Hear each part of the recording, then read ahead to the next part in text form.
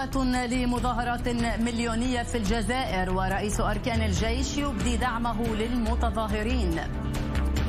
ماي تطالب بتأجيل بريكزيت ثلاثة أشهر وميركل تقترح قمة أوروبية استثنائية إذا تعثر اتفاق الخروج.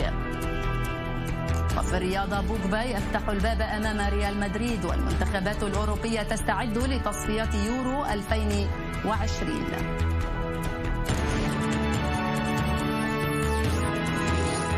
أهلا بكم من جديد أعلن المرشد الأعلى في إيران آية الله علي خامنئي إن الصعوبات الاقتصادية التي يواجهها الإيرانيون تمثل المشكلة الأساسية الأكثر إلحاحا في البلاد مضيفا أن المشكلات المعيشية للمواطنين تزايدت في الأشهر الأخيرة. وأشار خامنئي إلى أن الأولوية العاجلة للبلاد هي الاقتصاد.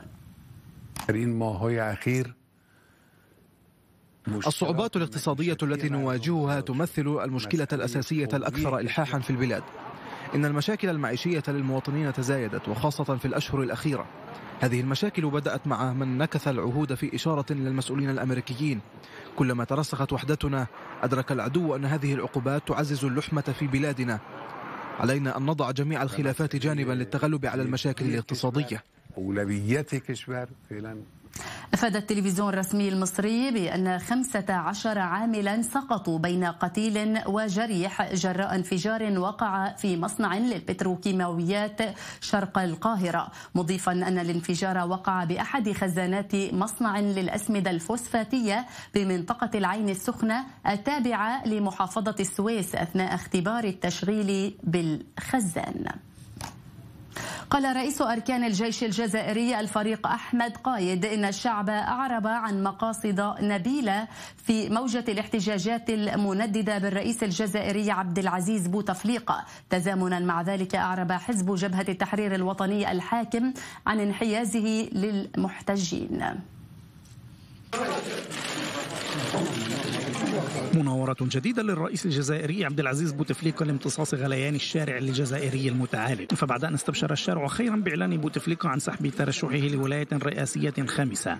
عود مقربوه للإعلان عن تأجيل موعد الانتخابات الرئاسية وتمديد ولاية الرئيس بوتفليقة الحالية لحينها لتجنب الفوضى الناجمة عن أي فراغ في قيادة مؤسسات الدولة على حد تعبيرهم. فالدولة الجزائرية على تم الاستعداد للحوار بل تذهب أبعد من ذلك فهي على تم الاستعداد للترحيب بممثلي المعارضة والمجتمع المدني في الحكومة الجديدة التي يتم تشكيلها حاليا.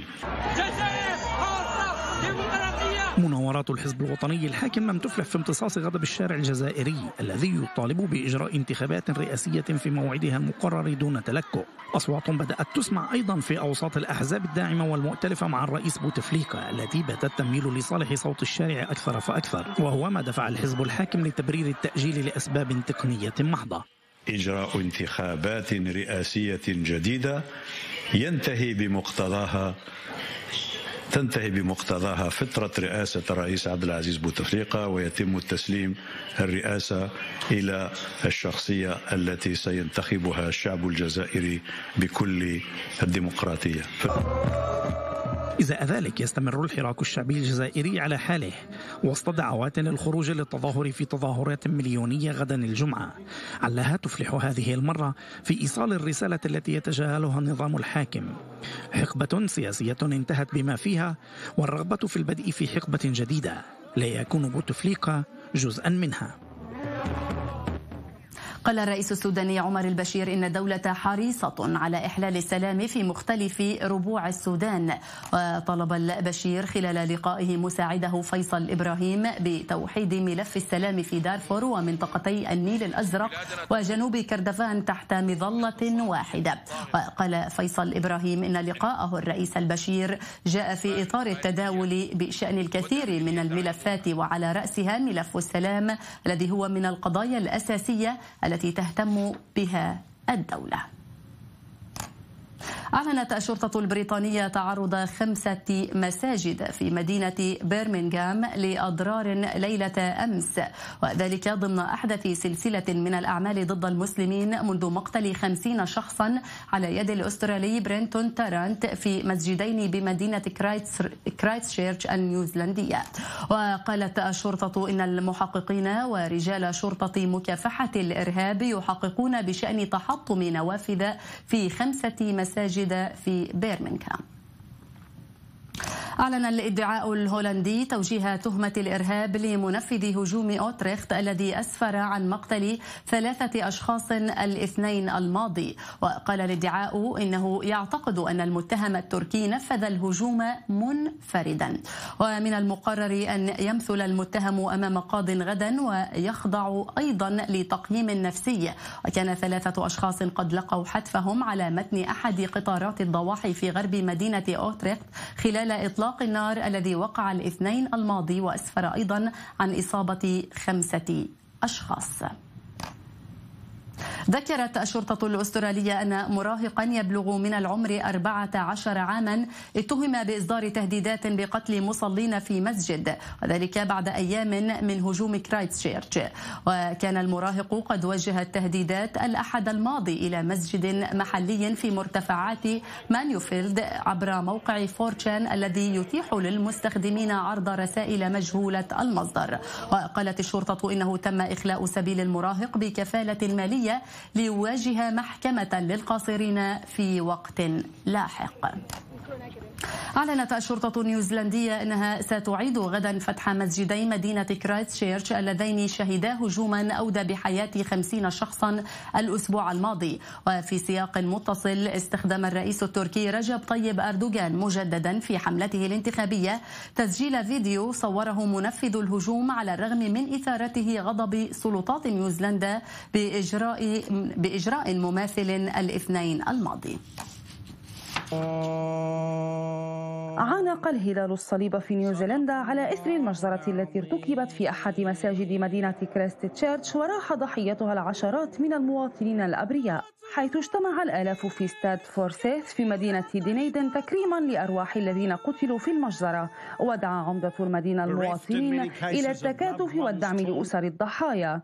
وأنه سيقام يوم الجمعة القادم الصلاة في منتزه هاجيلي مقابل مسجد النور والوقوف دقيقة صمت على أرواحهم. هؤلاء المتبقون والمحرومون من أحبائهم الذين فصلوا عنهم والذين يجب أن يبقوا أقوياء. نستطيع مساعدتهم بتقديم الدعم ومشاعر الرفقة ونؤكد لهم بأنهم جزء منا جزء غال من مجتمعنا كما هو كل فرد وعائلة وفي الوقت الذي أثارت تصريحات الرئيس رجب طيب أردوغان الحكومة الأسترالية بأن الأستراليين المناهضين للمسلمين مثل منفذي المجزرة. سيرسلون في نعوش مثل أجدادهم في معركة غاليبولي في الحرب العالمية الأولى. أكد مسؤول الإعلام في الرئاسة التركية أن تصريحات أردوغان في أعقاب المذبحة التي وقعت في نيوزيلندا أخرجت من سياقها بعد أن استدعت أستراليا مبعوثة تركية للاحتجاج عليها.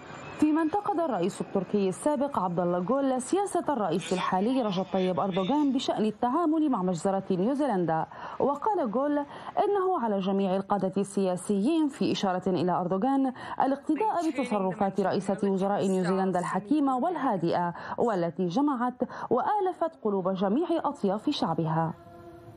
عن هذا الموضوع نتحدث إلى سيد ناصر زهير خبير العلاقات الدولية أهلا بك سيد ناصر من باريس طبعا هل برأيك إذا ما تحدثنا عن الموقف التركي حيال ما جرى في نيوزيلندا يمكن إدراج هذا الموقف بالفعل من يعني موقف صادق وجدي حيال ما جرى أم أنه يأتي في إطار الدعاية ربما الانتخابية والأهداف السياسية؟ نعم موقف تركيا الذي آه، أنجج هذا الموقف أو جعله متشددا هو العبارات التي التي كتبها القاتل على سلاحه والتي أشارت إلى تركيا بشكل أو بآخر. بالتالي كان هناك تشدد أو مغالاة من قبل الرئيس التركي في استخدام أو الرد على هذه المجزرة وإدانتها. واستخدامها لاغراض انتخابية، المشكلة الآن في هذه المجزرة وهذا الهجوم الإرهابي أنه تزامن مع حملات انتخابية سواء في أستراليا أو في تركيا، وبالتالي كان هناك خطأ فادح من قبل الرئيس التركي باستخدام فيديوهات هذه المجزرة. واستخدامها في أغراض انتخابية وتوجيه رسائل إلى الأستراليين والنيوزيلنديين. عادة ما يكون لرئيس التركي هكذا أخطاء أو هكذا تصريحات متشددة وهذا ما يلومه عليه أعضاء حزبه أو رفاقه السياسيين مثل عبد الله جول وقبله أحمد داوود أوغلو الذي اصطدم مع الرئيس التركي في أكثر من موقف بسبب تصريحات أردوغان العنترية أو المتشددة لكن مع جداً. مع ذلك لا يغير أردوغان من هذه اللهجة ومن هذه التصريحات، هل هي مفيدة يعني بنظره أم أن يعني هذا الإصرار على مثل هذه التصريحات بشكل دائم؟ باعتقادي أردوغان يستعمل آه، اللهجة السائدة الآن في العالم وهي لهجة القومية الآن. هناك ترامب في الولايات المتحدة في إيطاليا هنا سلفيني في في هنغاريا في في عديد الدول السياسيين أصبحوا يستخدمون اللهجة القومية أو اللهجة المتشددة التي التي تدعو إلى إلى تصريحات غير واقعية وتمجد القومية أو البلاد أو أو لا أعرف يعني إلى أي مدى هم يريدون الوصول الان ولكن هو ينساق مع هذه مع هذه التصريحات الآن التي أصبحت سائدة في الخطابات السياسية. ولكن مشكلة أردوغان دائما هي في تصريحاته الغير محسوبة والتي توقع دائما السياسة التركية وإعضاء حزب طيب.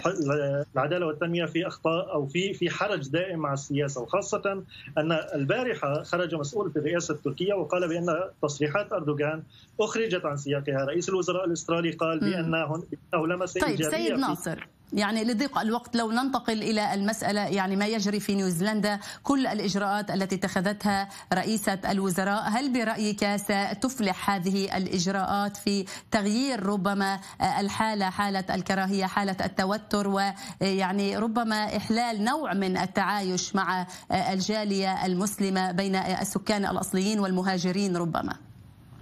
نعم باعتقادي ستفلح وستكون لها نتائج إيجابية جدا. هناك في نيوزيلندا لم تكن هناك مشاكل من الأساس أي أن درجة المشاكل هي قليلة جدا ولكن الذي آه، جعل المشاكل الآن متفاقمة. هو هذا الهجوم.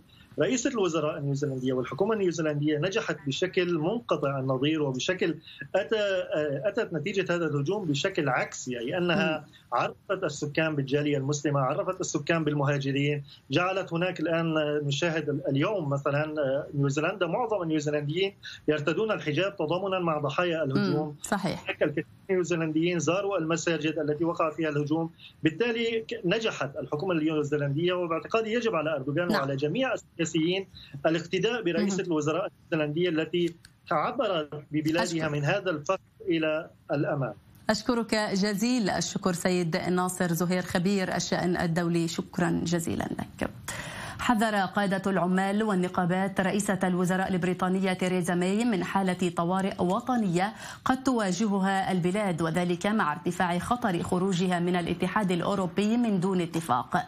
من جهتها قالت ماي إن تأجيلا قصيرا لخروج بلادها من الاتحاد الأوروبي سيمنح البرلمان وقتا للبت في أمر الخروج. أنا هنا اليوم لأناقش مع القادة تمديدا قصيرا للمادة 50 حتى نهاية يونيو. وكما قلت أمس فإن هذا التأخير هو أمر يؤسفني ولكن التمديد القصير سيمنح البرلمان الوقت لاتخاذ قرار نهائي.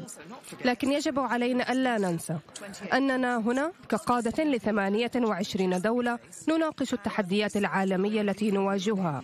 وقد قلت دائما أننا رغم مغادرتنا الاتحاد الأوروبي بالطبع ستظل لدينا مصالح مشتركة ولا سيما بين أمننا ورفاهيتنا المشتركين.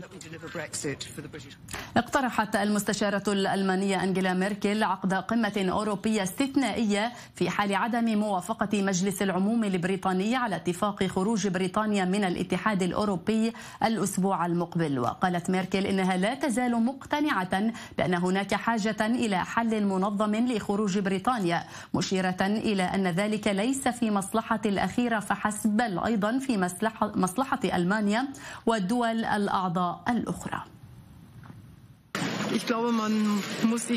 أعتقد أن الجميع يدركون أنه حدث تاريخي.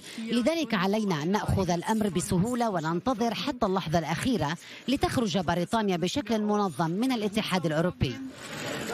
من بون في ألمانيا السيد جاسم محمد مدير المركز الأوروبي لمكافحة الإرهاب وشؤون الاستخبارات. أهلا بك سيد جاسم. يعني هل برأيك التحذير عفوا لمي من فرض حالة الطوارئ أو من إحداث حالة الطوارئ بسبب عدم الانسحاب في الموعد المحدد هو منطقي؟ وهل سنشهد مثل هذه الحالة بالفعل في بريطانيا؟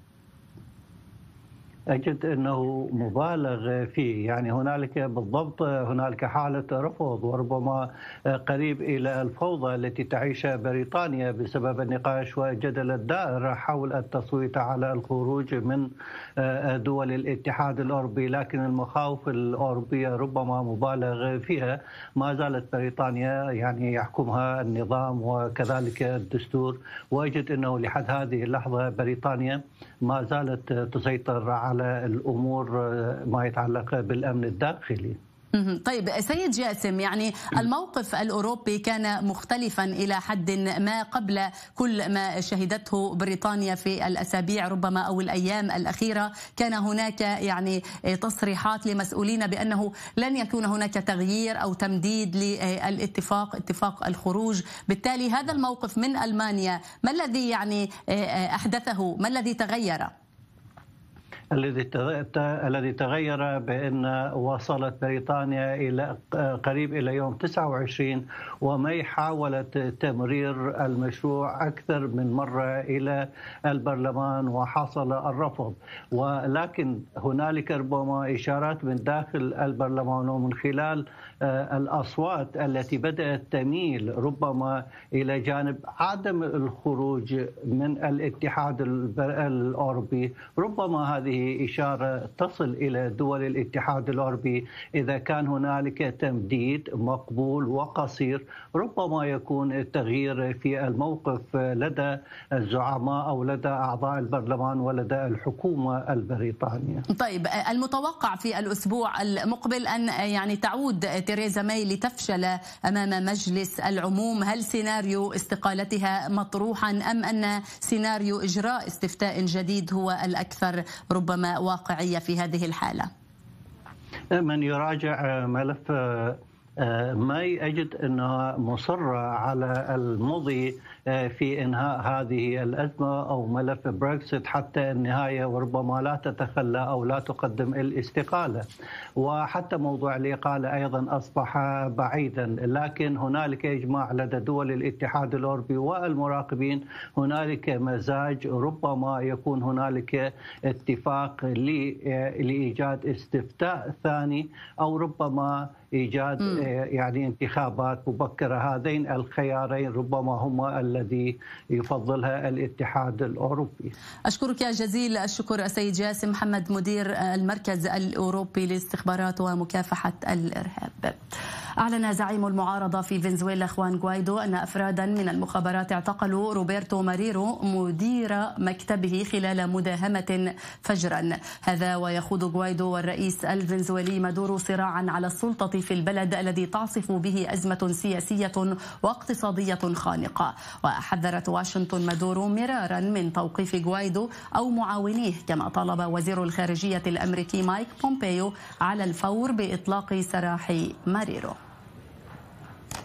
وافقت حكومة نيكاراغوا على إطلاق سراح سجناء معارضين خلال تسعين يوما من أجل استئناف محادثات السلام المتوقفة والتي تهدف إلى إنهاء أزمة سياسية استمرت أحد عشر شهرا. وقال لويس أنخيل روزاديلا المبعوث الخاص لمنظمة الدول الأمريكية إن حكومة الرئيس دانييل أورتيغا قد وافقت على إطلاق سراح جميع الأشخاص المحتجزين في سياق الاحتجاجات. قررت طاولة المفاوضات توجيه دعوة رسمية إلى الأمانة العامة لمنظمة الدول الأمريكية لاستئناف العمل بشأن قضية الإصلاحات الانتخابية. كما يوافق جدول المفاوضات على توجيه دعوة رسمية إلى لجنة الصليب الأحمر الدولية لمراقبة إطلاق سراح جميع السجناء أو المحتجزين. يعقد نائب وزير الخارجية الروسي إيغور مورغولوف مع نظيره الياباني تاكيومورا مشاورات بشأن معاهدة السلام بين البلدين. البلدين وأعلنت وزارة الخارجية اليابانية أن المشاورات تتعلق بمعاهدة السلام والتعاون الأمني. يذكر أن الاجتماع السابق عقد على مستوى نائبي وزيري خارجية روسيا واليابان في الخامس من الشهر الجاري. وتعتبر اليابان جزر, كور جزر كوريل الجنوبية كوناشير وشيكواتان إيتوروب وهابوماي تابعة لها وتصر على عودتها إلى السيادة اليابانية قبل توقيع معاهدة سلام مع روسيا. نحن نواجه مهمة جادة لدفع عملية التفاوض كما اتفق قادتنا في سنغافورة في نوفمبر 2018 ومع ذلك لابد لي من القول إننا ما زلنا في بداية مسار المفاوضات ولا تزال هنالك اختلافات كبيرة في أساليبنا. أعلنت السلطات الإندونيسية ارتفاع حصيلة ضحايا الفيضانات والانهيارات الأرضية في إقليم بابوا إلى أكثر من 100 قتيل. وقالت الوكالة الوطنية لإدارة الكوارث إن نحو 80 شخصا ما زالوا في عداد المفقودين بعد الفيضانات. يذكر أن منطقة سينتاني القريبة من العاصمة الإقليمية جيابورا كانت قد تعرضت لأمطار غزيرة مفاجئة ما تسبب في حدوث فيضانات عارمة. هز انفجار قوي مصنع كيماويات في شرق الصين أسفر عن إصابة 12 شخصا على الأقل وتحطم نوافذ البنايات المجاورة. وأفادت السلطات المحلية أنه تم نقل سكان تعرضوا لإصابات قرب موقع الانفجار للمستشفيات. وأظهرت مشاهد مصورة نشرها موقع بكين نيوز الحكومي انفجارا هائلا مع تصاعد ألسنة اللهب فوق المصنع. قالت وزارة التجارة الصينية أن وفدا تجاريا أمريكيا سيزور بكين يومي الثامن والعشرين والتاسع والعشرين من الشهر الجاري لعقد الجولة التالية من المفاوضات. وفي المقابل قاوفينغ المتحدث باسم وزارة التجارة الصينية إن نائب رئيس الوزراء ليوخا سيزور واشنطن في أوائل أبريل نيسان لإجراء المزيد من المحادثات في الوقت الذي يسعى فيه أكبر اقتصادين في العالم إلى إبرام اتفاق تجاري لإنهاء خلافات مستمرة منذ أشهر. كشف النجم الفرنسي بول بوجبا في مؤتمر صحفي عن مستقبله مع مانشستر يونايتد. وقد تطرق بوجبا إلى نتائج فريقه مانشستر يونايتد والذي بات أفضل بعد إقالة مورينيو حيث قال إن نتائج مورينيو كانت السبب في إقالته من الشياطين الحمر. وتحدث بوجبا خلال مؤتمر صحفي عن إمكانية انتقاله لريال مدريد. كما قلت دائما فإن ريال مدريد هو نادي الأحلام لأي شخص.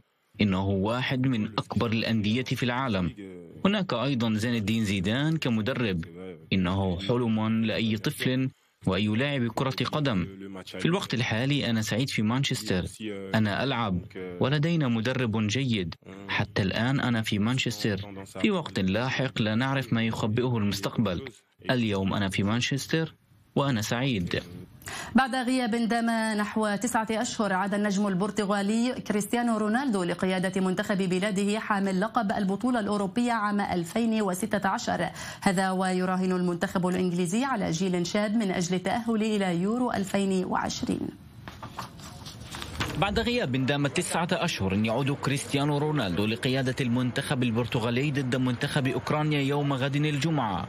ويوم الاثنين المقبل ضد المنتخب الصربي ضمن منافسات المجموعة الثانية لتصفية كأس أوروبا 2020 وبعد النجاح الذي حققه مع السيدة العجوز في دوري أبطال أوروبا يسعى رونالدو إلى التألق مع منتخب بلاده علما أن قرار الابتعاد عنه كان من أجل التأقلم مع يوفنتوس الإيطالي. المنتخب الفرنسي والذي خسر المباراة النهائية للمنتخب البرتغالي في يورو 2016 يستهل مشواره على أرض مولدوفا. بطل العالم يريد متابعة مشوار انتصاراته والتأهل دون أي قلق. المنتخب الإنجليزي يبدأ مشواره غدا الجمعة باستضافة منتخب تشيك ويراهن المنتخب على جيل شاب يبدي تقدما كبيرا بعد عقود من الإحباط.